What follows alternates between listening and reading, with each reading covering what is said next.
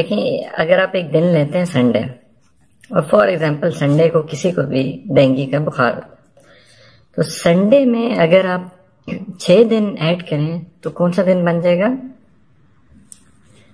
Saturday इसी तरह अब आप एग्जांपल लें कि एक बड़ा सारा प्याला है, और उसमें आप पानी डालते जा रहे हैं। लेकिन उस प्याले में, क्योंकि कुछ सुराख हुए हुए हैं तो वो सारा पानी आपका बाहर चला जाता है, उसमें से कुछ पानी। तो डेंगू बुखार में भी यही होता है। ये डेंगू बुखार एक वायरल बीमारी है। ये एक वायरस कॉज करता है, जिसमें आपकी जो खून की नालियाँ हैं, उसमें छोटे छोटे छोटे सुराख होना शुरू हो जाते हैं। जब ये छोटे छोटे सुराख होना शुरू हो जाते हैं आपकी खून की नालियों में तो इनमें से सबसे पहले जो चीज़ बाहर आना शुरू होती है, वो खून का सबसे छोटा हिस्सा होता है। तो वो क्या होता है? प्लेटलेट्स तो क्योंकि प्लेटलेट्स बाहर आना शुरू हो जाते हैं, इसलिए प्लेटलेट्स आपके कम होना शुरू हो जाएँगे। फॉर एग्ज़ाम्पल अगर आपके पहले दिन आपके 170 प्लेटलेट्स हैं तो दूसरे दिन जब डेंगू बुखार आपको होना शुरू होगा तो दूसरे दिन हो सकता है आपके एक डेढ़ सौ रह जाए। तीसरे दिन हो सकता है आपके सौ रह जाए। उसके बाद चौथे दिन पचहत्तर रह जाए। उसके बाद पाँचवें दिन पचास रह जाए। लेकिन जब छठा दिन आएगा तो ये आपके प्लेटलेट्स छठे दिन के बाद डेंगू क्योंकि वायरल डिज़ीज़ है तो ये सेल्फ लिमिटिंग है। ये सेल्फ लिमिटिंग का मतलब होता है खुद ब खुद ठीक होना शुरू हो जाता है। तो छठे दिन के बाद दोबारा आपके प्लेटलेट्स बढ़ना शुरू हो जाते हैं। लेकिन क्योंकि लोग इस दौरान कोई पत्ते खा रहा होता है, कोई कुछ खा रहा होता है, टोटके खा रहे होते हैं तो उनको ये लगता है कि शायद ये पत्ते खाने से या इन टोटकों से ये प्लेटलेट्स बढ़ रहे हैं। जबकि ऐसी बात नहीं है, डेंगी के बुखार होने के छठे दिन वो खुद ब खुद बेहतरी की तरफ़ पेशेंट माइल होना शुरू हो जाता है।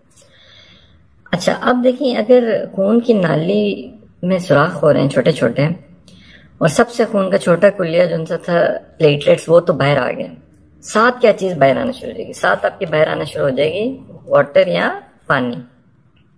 अब लोग क्या करते हैं लोग अपना तमाम फोकस रख देते हैं प्लेटलेट्स जबकि असल जो आपका फोकस होना चाहिए, वो होना चाहिए वाटर क्योंकि ये सबसे डेंजरस चीज़ है।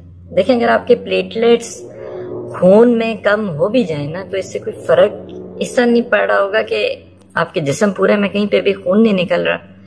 तो ये इनकी कमी आपको कोई किसी तरह तंग नहीं करेगी। लेकिन अगर आपका पानी, क्योंकि वो जब बाहर आना शुरू होगा और आप डिहाइड्रेशन में चले जाएँगे तो अब क्या होगा कि आपके पूरे जिसम में छोटे छोटे अल्सर्स बनना शुरू हो जाएँगे।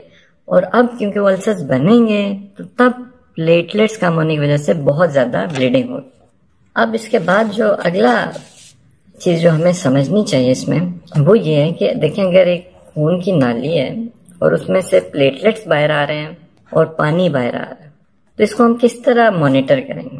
प्लेटलेट्स का तो आपको पता है कि आप सिंपल उसमें ब्लड सीपी करा लेंगे, लेकिन जो आपका पानी बाहर आ रहा है, इसको आप किस तरह मॉनिटर करेंगे? इसमें सबसे पहले आप उसका ब्लड प्रेशर देखते रहेंगे पेशेंट का। कि वो तो नहीं, उसमें तो नहीं फ्लक्चुएशन आ रही, वो एक स्टेट ऑफ़ शॉक में तो नहीं जा रहा। फिर आप साइंस ऑफ़ डिहाइड्रेशन देखेंगे पेशेंट पे, कि पेशेंट किसी तरह साइंस ऑफ़ डिहाइड्रेशन में तो नहीं जा रहा। इसमें one of the biggest signs is urination कि अगर पेशेंट पेशाब करता रह रहा है तो तब इसका मतलब है कि पेशेंट की बॉडी ठीक है, वो अभी तक उस तरह डिहाइड्रेट नहीं हुई। डेंजर साइन तब होगा कि अगर उसकी यूरिनेशन उसको आना बंद हो जाए, या उसका कलर जो है, वो बहुत डार्क हो जाए और ख़ास तौर पे अगर वो बंद हो जाए तो ये एक बहुत बड़ा डेंजर साइन हो फिर हम पल्स प्रेशर को भी देखते हैं। ये भी अगर डिहाइड्रेशन में पेशेंट जा रहा होगा तो ये भी उसकी खराब होना शुरू हो जाएगी। साथ साथ हम वाटर को कि वो जो बाहर स्केप कर रही है उसको देखने के लिए कि वो किन किन कंपार्टमेंट्स में जा रही है तो हम अल्ट्रासाउंड भी उस पेशेंट के कराते जाएँगे। अब डेंगू का एक ही टेस्ट है, जो डेंगू स्पेसिफिक टेस्ट है डी एस वन जैसे आप कहते हैं, ये अब पहले दिन से डेंगू के पॉजिटिव हो जाता है। और यही सबसे यूजफुल टेस्ट है, क्योंकि बाकी तमाम टेस्ट डेंगू होने के कुछ अर्से बाद पॉजिटिव होते हैं अब आपने करना क्या है? देखिए हम आपने घबराना इसमें इस तरह नहीं है कि आप सिंपली आप फोकस करेंगे, आप पेशेंट को किस तरह मैक्सिमम रिहाइड्रेट कर सकते हैं और किस तरह आप उसको डिहाइड्रेट होने से बचा सकते हैं। ये आपका सबसे इम्पोर्टेंट पॉइंट है। क्योंकि अगर आप उसको डिहाइड्रेट नहीं होने देंगे तो उसको अल्सर नहीं बनेंगे, अल्सर नहीं बनेंगे तो उसके ब्लीडिंग पॉइंट्स नहीं होना शुरू हो जाएँगे। और अगर उसकी ब्लीडिंग नहीं शुरू हो जाएगी पूरे बॉडी में, तब ये जो प्लेटलेट्स कम हो भी रहे हैं, इससे कुछ मसला नहीं होगा। तो ये बिल्कुल बेसिक कॉन्सेप्ट है कि डेंगू क्यों होता है और क्यों? और फिर आप ये भी देखें कि छठे दिन आपके डेंगू बुखार खुद ब खुद, जब आपको हुआ उसके छठे दिन, ये खुद ब खुद ये बेहतरी की तरफ़ पेशेंट आपका होना शुरू हो जाएगा। तो इसकी कोई ख़ास ट्रीटमेंट नहीं है, कोई वैक्सीन नहीं है, कोई ऐसी दवाई नहीं है जो डेंगू के खिलाफ काम करे। हमने बस सिर्फ़ पेशेंट का जो वाटर लेवल है, जो उसकी हाइड्रेशन लेवल है, उसको मॉनिटर करते रहना है कि वो उसका कंप्लीटली ठीक रहे।